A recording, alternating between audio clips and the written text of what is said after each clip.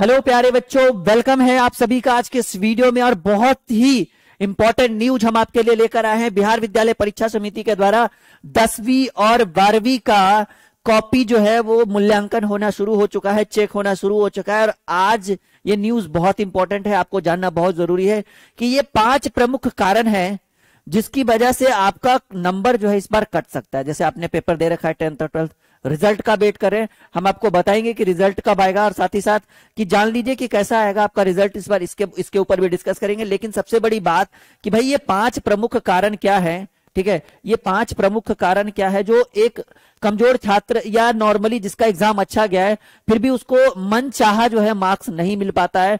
मन चाह जो है वो अच्छे मार्क्स नहीं ला पाते। तो ये पाँच प्रमुख कारण क्या है जिसकी वजह से आपका नंबर बोर्ड के एग्ज़ाम में चाहे वो बच्चा टेंथ का स्टूडेंट हो या ट्वेल्थ का स्टूडेंट हो, अगर आपने इस बार बोर्ड का एग्ज़ाम दे रखा है और टेंथ ट्वेल्थ के रिज़ल्ट का वेट कर रहे हैं, इस वीडियो को लास्ट तक देखिएगा और हम बताएँगे कि वो पाँच प्रमुख कारण कौन कौन सा है जिसकी वजह से आपके मार्क्स कॉपी में आप चाहे कितना भी लिख लो, ठीक है? कॉपी में आप चाहे कितना भी लिख लो और नंबर कटेगा ही कटेगा, इसमें कोई शक नहीं है। और साधारणतः मैंने देखा है कि बहुत सारे बच्चे, बहुत सारे का औसतन बच्चे जो है इस चीज़ में गलती करते हैं तो देख लीजिए कि वो गलती क्या है, जो आपके लिए बहुत इंपॉर्टेंट है। तो जैसा कि स्क्रीन के ऊपर हमने लिख दिया है कि भाई वो पाँच प्रमुख कारण कौन कौन सा है, जिसके कारण बच्चों के, ठीक है? बच्चों के मार्क्स कटते हैं फाइनल बोर्ड के एग्ज़ाम में। पहला कारण, ठीक है? ठीक है? पहला कारण भाई O M R sheet tenth का एग्ज़ाम हो ट्वेल्थ का एग्ज़ाम हो ओ एम आर सीट सबसे प्रमुख कारण है मार्क्स दिलाने में और मार्क्स काटने में। देखिए, मानकर चलिए कि ये आपका कुछ इस तरह से गोला है, ठीक है? तो आप क्या करते हैं? कोई बच्चा क्या करता है कि कुछ ऐसे करके रंग देता है, ऐसे। कोई बच्चा क्या करता है कि भाई ऐसे रंग दिया, ठीक है? कोई बच्चा क्या करता है कि भाई वो बाहर करके ऐसे रंग देता है। कोई बच्चा क्या करता है कि वो आधा रंगा, ठीक है, एकदम बेहतरीन ढंग से और एगो कोना छोड़ दिया। तो ये सब गलत हैबिट है। देखिए, बहुत छोटी सी वीडियो है और बहुत कुछ सिखाने की कोशिश करेंगे। आपको आपकी गलतियों से रूबरू करवाएँगे कि भाई आपने कहा गलती की है। तो ये सब जो है, ये गलत ये गलत तरीका है ओएमआर सीट को भरने का। अगर आपने बिल्कुल, अगर आपने बिल्कुल इस तरह से ओ सीट भरा होगा कि बिल्कुल इस तरह से गोल गोल अगर आपने भरा होगा तो आपके नंबर नहीं कटेंगे। तो आपको पता होगा कि आपने ओ सीट किस तरह से भरा है। और एक बात कि भाई हर चीज़ सही होना चाहिए। वहाँ पे जो आपका सेक्शन होता है एबीसीडी जो आपका पेपर होता है, वो भी सही होना चाहिए। अगर वो है तो वहाँ तो रिज़ल्ट ही कैंसिल हो जाएगा, वो आपका पेंडिंग में आ जाएगा, ठीक है?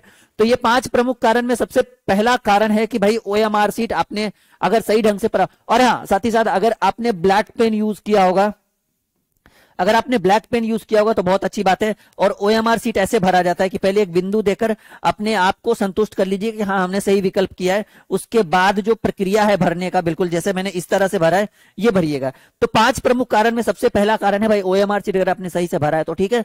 भरना लेने के देने पड़ जाएँगे। और ये सबसे प्रमुख कारणों में से एक है भाई, सबसे इंपॉर्टेंट है ओ सीट जो असाधारणता मैंने देखा है कि असाधारणता सभी बच्चे इसके ऊपर गलती करते हैं। आइए दूसरी बात करते हैं कि दूसरा सबसे प्रमुख कारण क्या है। देखिए, दूसरा सबसे प्रमुख कारण है कि बहुत सारे बच्चे क्या करते हैं कि लिखते हैं तो लिखते जाते हैं, लिखते जाते हैं, ठीक है? आगे, पीछे लेफ़्ट राइट कुछ नहीं देखना, बस लिख रहे तो लिख रहे। सबसे बड़ी चीज़ है भाई, चौथाई, ठीक है? सबसे बड़ी चीज़ क्या है? चौथाई है जो साधारणता बच्चे नहीं छोड़ते, जैसे मानकर चलिए कि ये आपका पेज है, ठीक है? तो कहा गया है कि एक बटे चार भाग, चौथाई का मतलब एक बटे चार भाग प्रतिशत में कहिए तो 25 प्रतिशत जो है 25 प्रतिशत एरिया जो है वो स्टार्टिंग से इधर से आपको, इधर से आपको छोड़कर, इधर से आपको छोड़कर लिखना होता है। और ये एक अच्छी आदत है, एक बेहतरीन छात्र की। और जो साधारणता इस काम को बच्चे नहीं कर पाते हैं तो इससे भी आपका नंबर इस बार बोर्ड के एग्ज़ाम में कटेगा। ठीक है तो ये सबसे प्रमुख कारण है भाई, चौथाई छोड़कर बच्चे जो है नहीं लिख पाते हैं या भूल जाते हैं। अब मान लीजिए कि इस तरह से आपका दिया हुआ है। अच्छा अगर आपको ट्वेल्थ के लिए लाइव पढ़ना है, इलेवंथ के लिए तो बैच शुरू हो चुका है। लिंक वीडियो के डिस्क्रिप्शन में है जी। ऐप, नया ऐप बन चुका है हमारा ड्रीम क्लासेस लाइव के नाम से। तो आपको कुछ इस तरह से चौथाई छोड़ना है जी, ठीक है? कुछ इस तरह से ये एक बटे चार भाग जिसको हम प्रतिशत में 25 प्रतिशत करते कहते हैं, ये आपको छोड़कर लिखना होता है। अगर आप इस चीज़ को छोड़कर नहीं लिखते हैं तो यकीनन मानिए कि आपके मार्क्स बोर्ड के एग्ज़ाम में कटेंगे।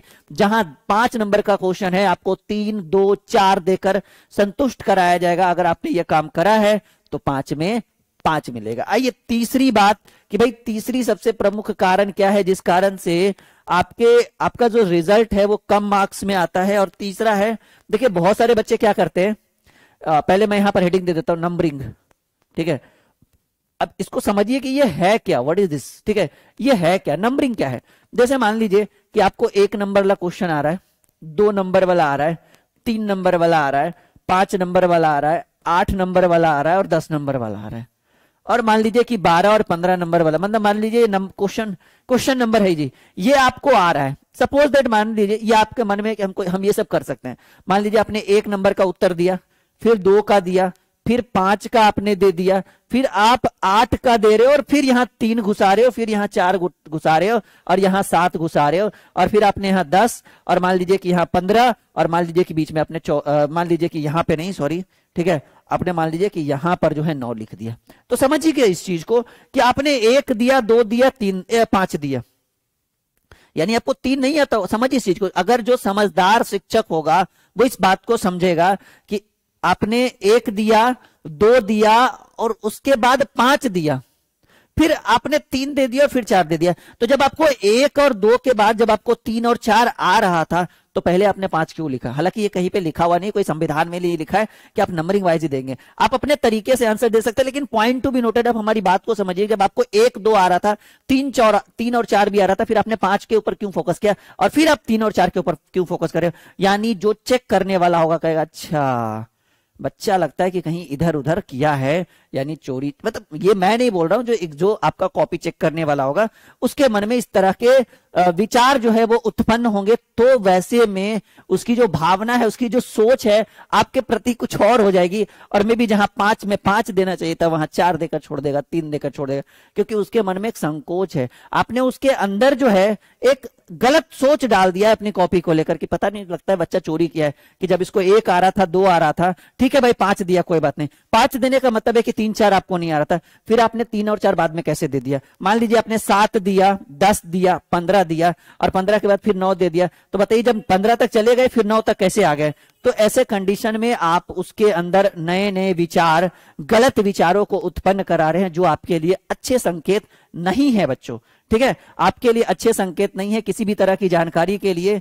आप इस नंबर पे जैसा कि स्क्रॉल भी चल रहा होगा, ज़रूर संपर्क करिएगा। लाइव क्लासेस शुरू हो चुकी है टेंथ इलेवन ट्वेल्थ की। सब सब्जेक्ट के टीचर अवेलेबल है, पूरी टीम हमने लॉन्च कर दिया है, ये इसके लिए, पढ़ने के लिए। बिल्कुल संपर्क करिएगा। चलिए, चौथी सबसे बड़ी बात कि भाई क्या है?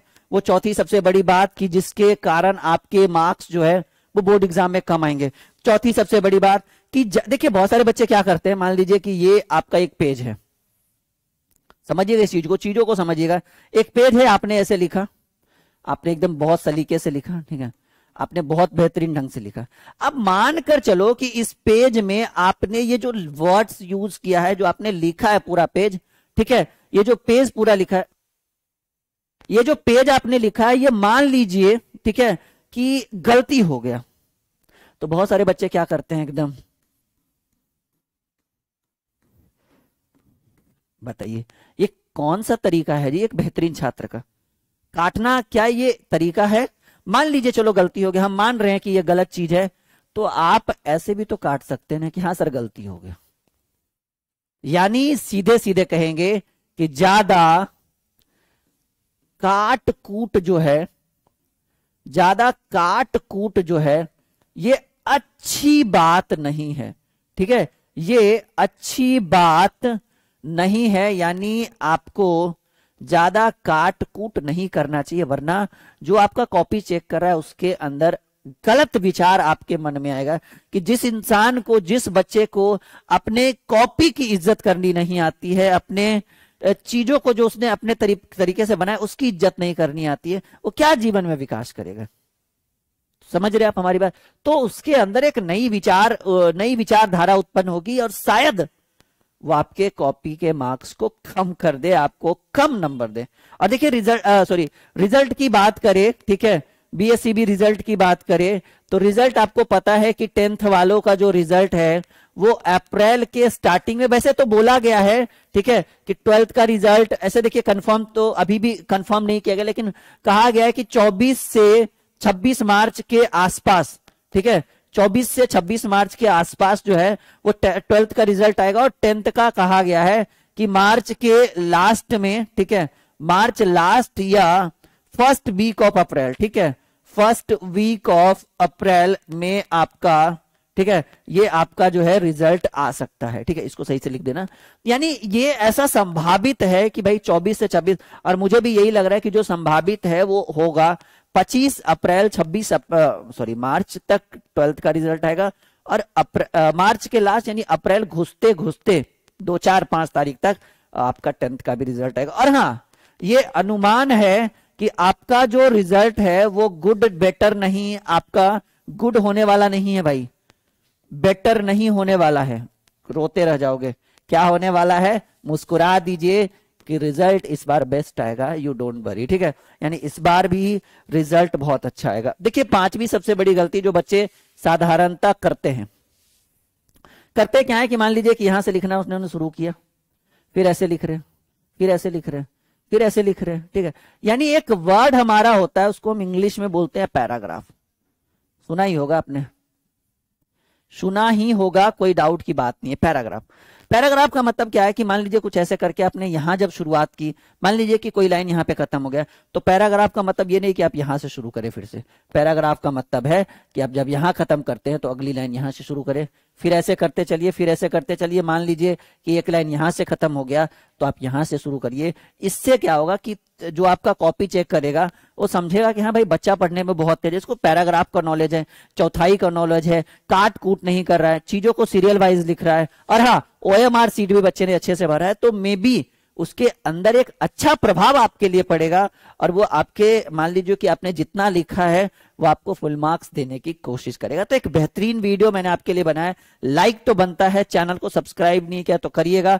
और हाँ हमने बहुत बेहतरीन ऐप लॉन्च किया है। ऐप का नाम है ड्रीम क्लासेस लाइव हमारे पास पहले एक ऐप था, अब दो ऐप है। एक ड्रीम क्लासेस था Dream Classes live link video के डिस्क्रिप्शन में और ड्रीम क्लासेस लाइव की खासियत में बताता हूँ कि इस बार हम लोग फुल्ली लाइव पढ़ाने वाले हैं ऐप के ऊपर। यूट्यूब पे तो कंटिन्यू चल ही रहा है, उसमें कोई डाउट की बात नहीं है, लेकिन इस बार ऐप के ऊपर फुल्ली लाइव बैचेस लॉन्च कर रहे हैं। पूरा लाइव रहेगा विथ नोटबुक और बिल्कुल एडमिशन जारी हो चुका है ट्वेल्थ का और टेंथ का भी। बिल्कुल भी सोचिए मत तुरंत तुरंत बैचेस ज्वाइन करिए और फटाफट पढ़ना शुरू करिए। हमारी पूरी इंटायर टीम उत्सुक है आपको फुल्ली लाइव पढ़ाने के लिए। सोचिए नहीं, बिल्कुल हमारी बात मानिए और बैचेस ज्वाइन करिए। जितनी फ़ीस में आप कोचिंग में एक महीना पढ़ोगे, उतने से भी कम फ़ीस में हम आपको यहाँ पर पूरा एक साल लाइव पढ़ाएँगे और बहुत मज़ा आने वाला है, ठीक है? डिजिटल इंडिया के तहत आपको एक बेहतरीन मार्गदर्शन यहाँ से मिलने वाला है। और मैं as a motivator Rahul sir आपको हमेशा मोटिवेट करता रहूँगा। और हमारा मानना है कि लहरों से डरकर, लहरों से डरकर नौका पार नहीं होती। कोशिश करने वालों की कभी हार नहीं होती। लहरों से डरकर नौका पार नहीं होती। कोशिश करने वालों की कभी हार नहीं होती। बिना कुछ किए जय जयकार नहीं होती। कोशिश करने वालों की कभी हार नहीं होती। Okay and best of luck for this video